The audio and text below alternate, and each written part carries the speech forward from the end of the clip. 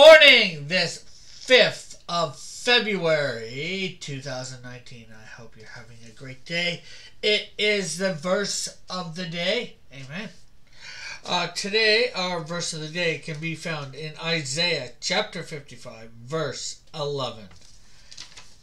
It is the it is with uh sorry, I'm messing this up. It is the same with my word.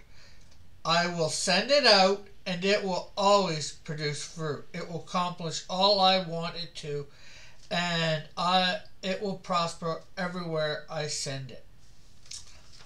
Um, this hit this verse. I didn't realize it was this verse. Um, but a while ago, I thought about this quite some time ago, I should say. Uh, if you put it in conjunction with um, John chapter one, in the beginning was the Word, the Word was with God, and the Word was God. Blah blah blah.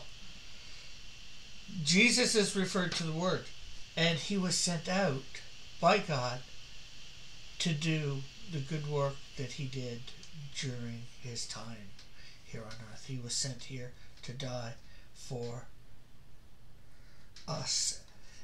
The word Christ was sent out. And to and Christ accomplished everything God wanted him to.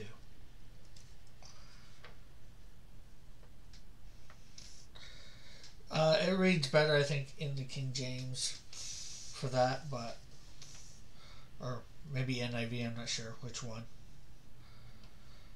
But still, uh, it's. I think you get the picture. Um, it's just neat how I've or I thought at the time, you know, I will send out my word and it'll accomplish what I want it to, or something to that effect.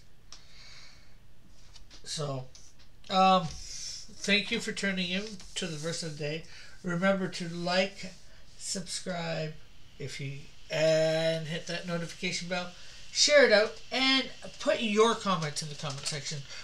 I, you know, I'd like to hear what you guys are thinking about these verses. You know, you know, it's nice when you just say good or your thoughts on the verse and all that. And have a great and wonderful, blessed day. Bye for now. God bless. Have a great and wonderful day.